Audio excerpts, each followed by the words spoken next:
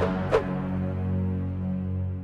Слава Україні! Підписуйтесь на телеграм. Радник голови офісу президента Подоляк заявив, що п'ятий канал прямий та еспресо, які відносять до пулу Петра Порошенка, вимкнули з цифрового ефіру через нарцисізм п'ятого президента України. У інтерв'ю LB Live член української делегації на перемовинах з Росією зазначив, що це питання Радбезу та питання єдиної інформполітики країни під час війни. Частково так, а частково транслювали людину, яка дуже закохана у себе. У нас багато нарцисів. Я розумію, у нас політика побудована на нарцисизмі, як такому. Ми продаємо часто нарцисів, додав Подоляк. За його словами, це питання професійної якості інформаційного простору України. Якщо ти продаєш нарциса, який пустий всередині, так ось ця людина закохана у себе, опосередкований власник каналів. Я не дуже розумію, навіщо під час війни цю самозакоханість свої наративи продавати в такому вигляді у рамках єдиного інформпакета. Вважає Подоляк. На зауваження, що те саме можна сказати і про нарцисів, які зараз паразитують паразитують в ефірі загальнонаціонального телемарафону, радник голови ОП відповів, що збитки, які завдає суб'єкт, набагато більші, тому що нарцисизм, коли ти просто продаєш себе, тому що ти хочеш монетизуватися на певному рівні, це одна справа, це не професійно, але це маленька шкода. Інша справа, коли ти усе ще ніяк не можеш змиритися із тим, що ти програв, і для того, щоб якось підсвідомо компенсувати це, ти можеш піти на будь-які руйнівні інформаційні технології. Резюмував Подоляк. Зазначимо, що у Держспецзв'язку пояснили здійснили відключення цифрового ефіру еспресу прямого та п'ятого виконанням рішення Ради нацбезпеки та оборони України щодо трансляції загального марафону. Про це пише детектор медіа із посиланням на відомство. На початку березня РНБО ухвалила рішення про трансляцію телемарафону Єдині новини. Мета цього рішення забезпечити людей доступом до правдивої, об'єктивної та перевіреної офіційної інформації про перебіг війни та ситуацію в країні. Доступ до цього телемарафону мали та мають усі канали будь-якої форми власності. Концерн виконує це рішення на усіх частотах. Мовлення відповідно до встановленого графіка. Мовлення триває. Трансляція телемарафону Єдині новини заявили в Держспецзв'язку. У відомстві наголосили, що концерн РРТ